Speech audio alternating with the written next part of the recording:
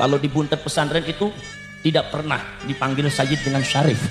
Tapi memang bahasanya Syarif. Cuma kadang-kadang ada yang suka manggil saya Habib, mungkin karena hidung saya panjang. Yang pamekasan itu penyakit hidung panjang itu rupa-rupa kayak gitu. Semua orang hidung panjang panggilnya Habib aja ini. Nah, namanya Habib dengan Syarif dengan Sayyid beda. Beda apa? Ya beda panggilan. Kalau Habib dari Yaman, kalau saya Syarif dari Hijaz. Kiai Marzuki Mustamar juga termasuk Syarif dari Sultan Hasanuddin.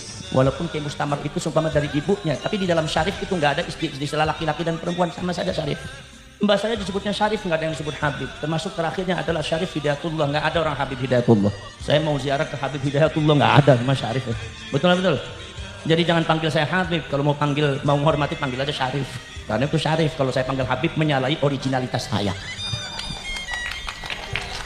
Oh berarti sampean nggak senang sama Habib, dasmu. Kata siapa? Saya tidak pernah diajari benci kepada siapa pun. Saya hanya bicara diri saya dan bicara diri Habib. Habib itu orang Yaman, kalau saya orang Hijaz. Sampean orang Madura, kalau sampean orang Banten. Bukan berarti benci kepada salah satunya lagi bicara aslinya. Ente jangan marah. Jangan tersinggung, tersinggungin apa ente? Uang itu mbahnya ente kok. Ya, jadi kalau saya tidak mau dipanggil Habib, kenapa sebabnya? Lah orang saya bukan dari Hadramaut, saya dari Hijaz. Orang Hijaz beda. Panggilnya Syarif. Muhammad Abbas bin Fuad bin Hasim bin Mansur bin Saleh bin Muta'at bin Syarif Abang Nuruddin bin Syarif Muruddin bin Syarif Ali bin Syarif terus Abdul Rahman bin Suruh Syarif sampai Muhammad Arifin bin Syarif Hidayatullah bin Syarif Abdullah semua Syarif nggak ada Habib karena memang orang Hijaz memanggil Zuriatul Rasul itu adalah dengan julukan Syarif bukan Habib Habib itu adanya di Yaman ya Syarif Hussein dan loh ada lagi mengatakan Panci itu punya marganya apa loh saya nggak ada marga nggak ada marga. Ya marga saya nisbat aja Asyirboni Al Jawi beres. Kenapa? Sebab kenapa yang namanya Syarif itu di marga Sayyidina Husain itu ma'indana tamajuzat. Kami tidak memiliki satu ciri-ciri yang membedakan. Jadi nggak ada marga.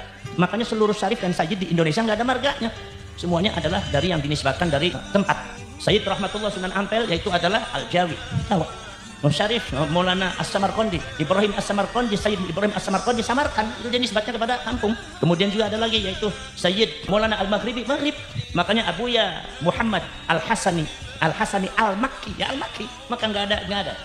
Nah bedanya kalau sumpah yang ada di Yaman, Haba itu punya marga. Yaitu ada segap, ada akos, ada itu. Bukan benci, bukan meng ente kayak gitu mang. Saya nggak punya marga, ente punya marga. Jadi kalau saya disebut seperti ente, yang nggak bisa karena saya nggak punya marga.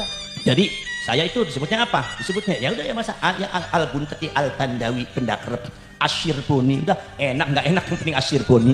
Nah itu dari Hijaz, dari Hijaz beda. Dulu mbah saya disebutnya Maulana Sayyid Syarif Mahdum Gunung Jati. Mahdum termasuk Sunan Bonang, Mahdum Ibrahim. Itu adalah bukan julukan Yaman, tapi itu adalah julukan Asia Tengah. Persia dengan Uzbekistan. Kalau AA itu jurusan Sunda, kalau Lora itu Madura. Jadi nanti kalau manggil saya itu orang Sunda, ya panggilnya AA, jangan Lora. Gitu maksudnya. Bukan berarti menghina salah satunya, bukan lagi ngomong yang benar kok di ente disalahin terus. Makanya jadi orang jangan sensitif, jangan jangan sensitif, jangan mudah tersinggung ente. Betul betul? Betul betul? Gitu aja Syarif, ada Syarif, ada Sayyid. Nah itu saudara-saudara kalian. Makanya kalau ada orang manggil saya Habib, bingung juga saya. Habib dari mana saya?